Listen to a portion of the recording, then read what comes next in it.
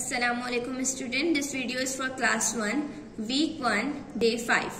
Today we are going to read page number 49. So please open your book and take out page number 49. What is it? Alhamdulillah. It is 2 o'clock. What time is it? It is 2 o'clock. Hassan is feeling hungry. He is eating lunch. He is eating lunch. He says Alhamdulillah after eating.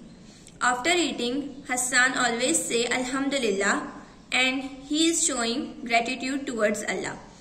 So let's underline the word hungry, feeling Alhamdulillah and eating. What time is it? It is 2 o'clock. 2 o'clock. And what is the activity of 2 o'clock? Doing, no, sorry, feeling hungry. Has, uh, at 2 o'clock, Hassan is feeling hungry.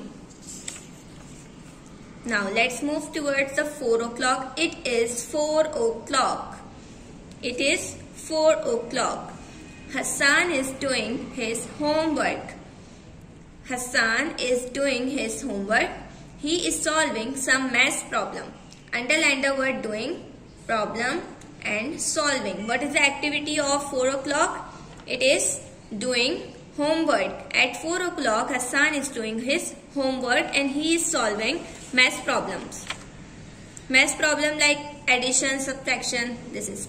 Okay, now underline this word, Assalamu alaikum and you have to write these words in your notebook and learn the spellings for dictation. Okay, it is 6 o'clock. Hassan is waiting for his father. His father came home late yesterday. He was busy in the office. Why did he came late? Because he is busy in the office. And it is about yesterday. Today Hassan is waiting for his father. At 6 o'clock, Hassan is waiting for his father. Underline the word waiting. Yesterday, busy and office. Okay, now it is 8 o'clock. What time is it? It is 8 o'clock. Hassan's father is home now. Hassan helped his mother in the kitchen. He is now eating dinner with his parents. Yesterday, Hassan's grandparents came to his house. They were very happy to see him. Hassan played Ludo with his grandfather. Okay, now underline the word helped, kitchen, parents, happy. Okay, at 8 o'clock, Hassan's father is home. Now,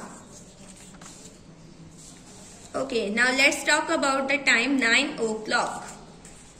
It is 9 o'clock.